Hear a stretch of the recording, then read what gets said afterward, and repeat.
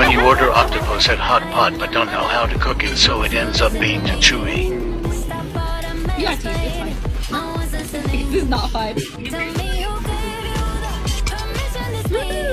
This is not fine.